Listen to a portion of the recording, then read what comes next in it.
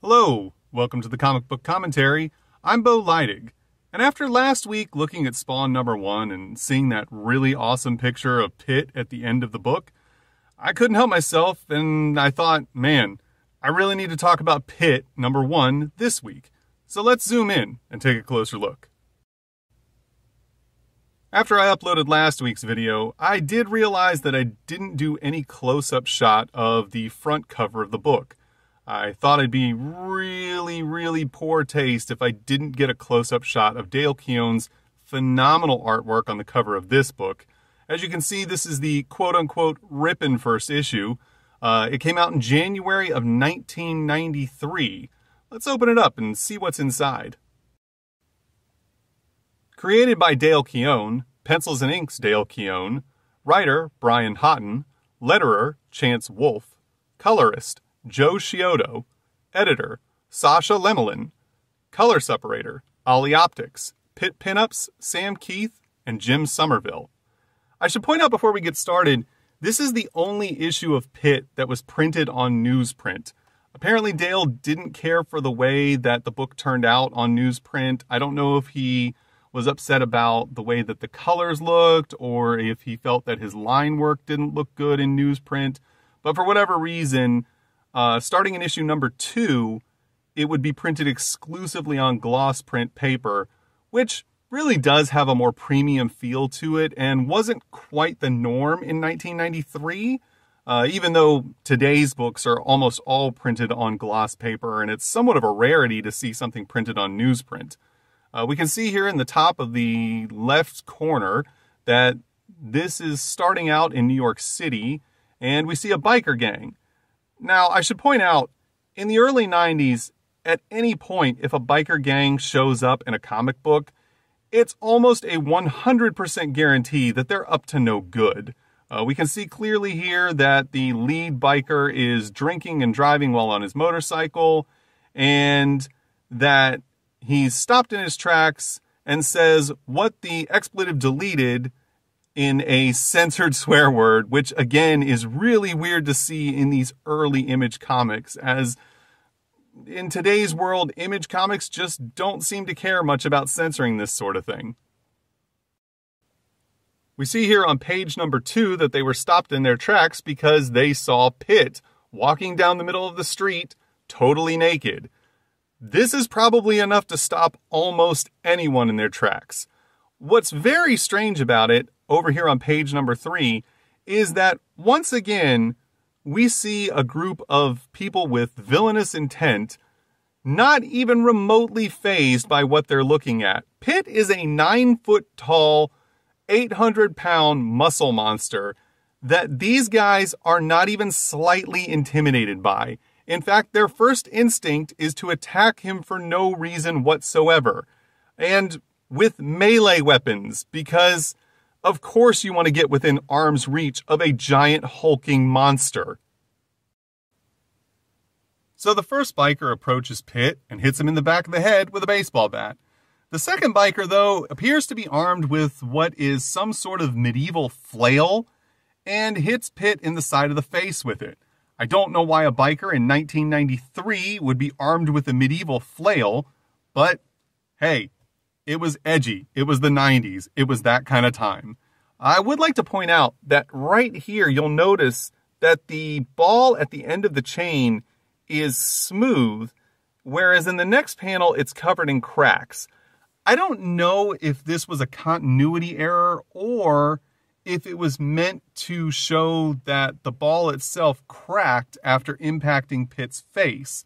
Uh, Pitt's not totally invulnerable. As you can see, he is bleeding. However, he is incredibly strong. As you can see, he's barely phased by being hit twice in the head by guys riding motorcycles with blunt impact weapons. Uh, on the very next page, number five, we see that the bikers somehow are not deterred at all by the fact that this guy just weathered both of their attacks. So, of course, they're going to make another run at him. The first guy gets caught in the face and has his head slammed directly through the pavement. I'm quite certain at this point he's dead. The second guy gets caught in the midsection with an elbow and knocked clean off of his bike, while the bike from the first guy right here is running into someone else and probably killing them as well. Pitt, not so much of the Batman mentality where people deserve to go to jail and be judged by a jury of their peers. Here on pages 6 and 7, we only have two panels that span across both pages. But man, they are great panels. Look how fantastic this artwork is. Dale Keown never fails to deliver. Of course, it's a Dale Keown book, so we can count on lots of striations. But I'd also like to point out that this biker gang, who are a bunch of criminals, seem to be severely lacking in the gun department. You will notice that everyone featured on this page is all wielding melee weapons. It's really odd that none of them have a gun. As you can see, the guy with the knife right here is killed pretty much immediately. I mean, there's always the possibility that he's not dead, but the fact of the matter is that Pitt just punched him full force in the face, so we can only assume that he didn't survive. I'd also like to point out that there's the use of made up comic book words to express the sound of punches. Never get tired of that. I really love it when comic books do that, even if it's supposed to be a really gritty comic like Pitt. It's still nice to see that they're having a little bit of fun with it as well. Here on page number eight, we have more action sequences. Pitt's getting angry. He's throwing motorcycles all over the place. Guys are going down. No one is scared yet. And finally, the leader of the biker gang decides that it's time to pull out a shotgun and finally shoot this monster straight in the gut. And of course, has to quote Scarface while doing so, because why wouldn't he? You'll notice that this actually does finally bring Pitt to his knees, but he's not down for the count. He's just really irritated. And the bikers at this point are starting to realize that they've made a grave mistake. Here on pages 10 and 11, we get a vertical action shot because early 90s image comics really love making it difficult for me to make these videos. Uh, I'd like to point out that the lead biker here has flubbed the reload, not that it would have really mattered, and that all of the rest of the gang has just realized that their night is about to get really, really bad. As Pitt is leaping towards them, yelling as at the top of his lungs, we also see a young boy who wakes up in the middle of the night, also screaming at the top of his lungs. The young boy in question is waking up in Connecticut, far away from New York, and it should be pointed out that this is Timmy, who is not named in this book, and is actually very closely connected to Pitt, as we'll find out in future issues. His grandfather hears him scream, comes to try and comfort him because, as we can see down here on the bottom left, Timmy's parents have recently been killed. This story takes place as part of Youngblood number four, which I have to go through my collection and see if I have. Uh, I never really made a conscious effort to collect Youngblood comics. And I have picked them up here and there, so I may have that book. And if I find it, I will do a commentary on that as well, just so that we can see the backstory of this story. Uh, the next scene is in the New York City Police Department. As we can see, a large number of detectives. There's the newest detective to the force, Bobby Harris. She's a no nonsense, very by the books, I'm going to do my job and you're not going to tell me I can't type of woman. Uh, I'd also like to point out that we can see right here one of the detectives is pouring coffee into a Bart Simpson mug, and this detective right here, his last name is Smithers. I'm not sure if that's a coincidence or if it's just a cheeky joke by Dale that he wanted to throw in there for fun. Here we can see that Smithers is somewhat surprised that Harris is his new partner. Uh, they're currently investigating the events that led to the death of Timmy's parents. As you can see here, Pitt is filmed on an ATM camera that was in the subway where the events of that attack took place. Um, they're not certain what's going on, where Pitt is from, if he's part of Youngblood. Once again, Youngblood is a state sponsored superhero team in the Image universe, basically, Image version of the Avengers, if you will. It's not even an if you will. I mean, they're basically the Avengers. It's not too cleverly concealed a ripoff of the Avengers. Uh, on the very next page, we see Pitt is now fully clothed in things that he took from the bikers, including all of their chains, because if you're gonna like take all the stuff from the bikers, why wouldn't you take their chains and wrap them all around you? Because it looks super awesome. Uh, again, it's pretty amazing that some of these clothes fit Pitt, given the fact that he's nine feet tall and a giant muscle man. But, you know, that's comic book logic. It's the same as you would see in the Hulk, which coincidentally is what Dale Keown was drawing for before he left Marvel to go and start Pitt with Image Comics. Uh, this is also the first instance that we see of Pitt having a conversation with a voice in his head. This isn't fully explained in this book, but it does continue for some time and we do get a glimpse into a little bit of Pitt's origin going forward. On the next page, we see that there is an unnamed alien race that we are somehow suddenly transported to on perhaps a spaceship or another planet. Uh, this race, while not named, uh, we get a small glimpse into their culture here. They seem to be very much in a pursuit of higher enlightenment. Um, some sort of telekinetic exercise is taking place here where um, I guess a mentor alien is trying to teach another alien how to use said telekinetic powers when they are suddenly attacked by an alien race known as the Creed. The Creed, of course, are the early villains in this comic. And we can see that this guy down on the bottom is clearly in charge and he is up to no good. On the next page, we see that Pitt has now decided to steal one of the motorcycles that belong to the gang because if he can wear clothes that are far too small for him, he can also ride motorcycles that are far too small for him. It's hilarious to see this image of Pitt riding this tiny motorcycle to me, but you know, why not? I mean, it's just one of those comics that's it's so gritty and trying to be based in reality, but at the same time, it never feels full of itself at all. There's still these moments of like just goofball comic book logic that just feel right at home. Uh, underneath here, we can see that the New York Police Department is investigating the scene of the subway attack, which led to the death of Timmy's parents. This woman here, who I believe works for the New York Transit Authority, is very upset about the fact that the police are doing this because the subway train is now three hours behind schedule. Apparently, this train was supposed to make a stop at Coney Island to pick up all of the park goers. And she doesn't seem to see a problem with picking up families from an amusement park with a wrecked subway car covered in blood. Uh, as the detectives are finishing up their investigation, taking pictures, trying to gather fingerprints and other evidence, we notice that a large blue light flash is occurring with a buzzing sound behind them as they exit the train.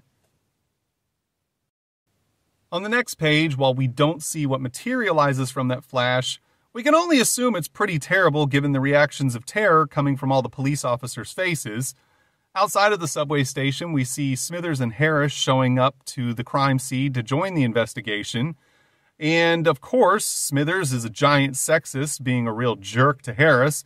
But kudos to her, she totally calls him on it and shows that she's not going to be pushed around by him. Then they suddenly hear all the gunfire and explosions and fighting that's taking place within the subway station. They run down the stairs. Smithers calls for backup. Pedestrians who are running for their lives are telling them to get out of there, that it's terrible. Smithers, of course, is saying we should wait for backup. Let's not help. Whereas Harris wants to jump into it because she's not going to just take this lying down that people are in danger. And here on the final two pages of the story, we get a full two page spread of absolute 90s goodness. Two, what appear to be giant rock alien monsters.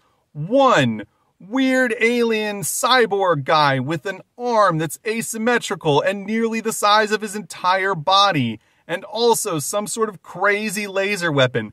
Everything about both of these pages screams it's 1993, and you better be ready for everything that we can throw at you from outer space.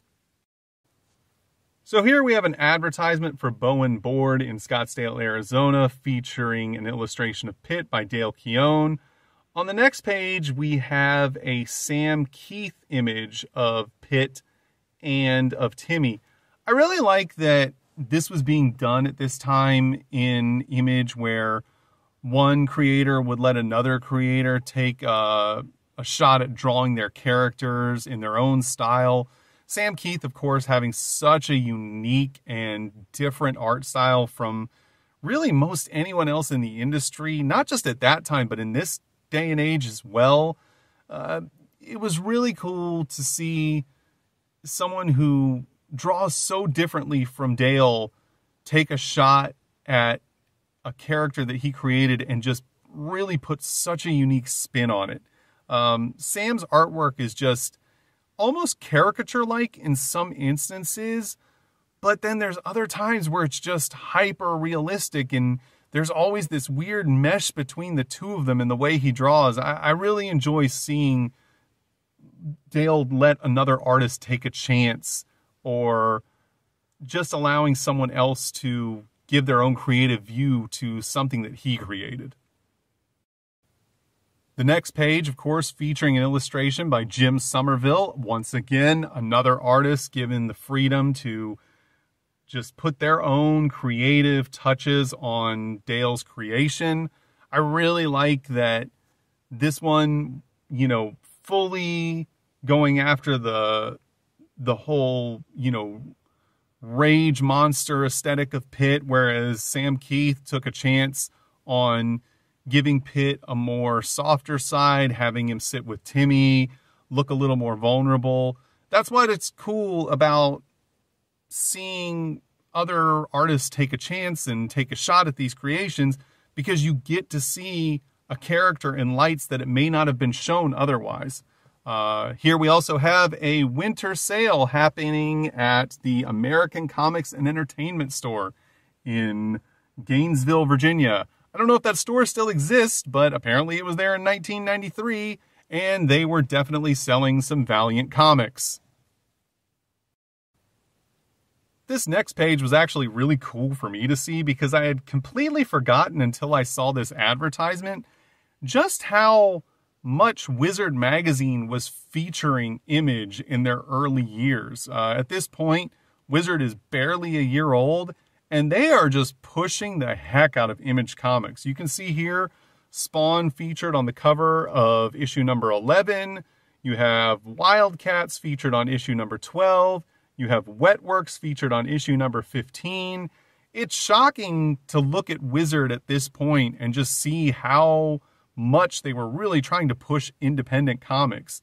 Uh, again, I mean, did it really help with Image's early success? I think it played a part. Uh, Wizard Magazine at that time was way, way big in the industry, and getting featured on the cover of Wizard was really a huge push for your book. Uh, on the next page, we see this fantastically awesome advertisement for Terminator 2, the arcade game, the Super Nintendo game, and the Game Boy game by LJN, one of the only good LJN games ever made. This was awesome to see, takes me back to a lot of quarters I wasted. On the next two pages, we see two full page ads for Malibu Comics. I did forget to mention in the last video that Malibu Comics was actually printing all of the Image comics for the first year, I believe, at least, of Image's existence. Uh, Image was not set up at the time to actually print books and was relying on Malibu to help them out with that aspect of their business. Uh, we see an advertisement here for the mighty Magnor and also Dinosaurs for Hire. I don't recall ever reading or seeing either one of these books ever in my life. However, Dinosaurs for Hire looks awesome. If this is Dinosaur Mercenaries, I'm in. I don't care if the comic is crazy, if it's weird. I want to see what Dinosaurs for Hire was about. And if I ever find one of these books, I promise I will buy it and it will be on this channel. So, here on the final page of the book, we see an advertisement for a contest sponsored by both Sunsoft and DC.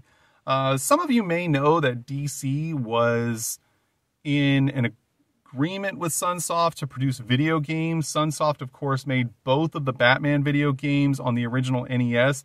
They're both great games, and if you ever have a chance to play either one of them, go ahead and do it. You won't be disappointed.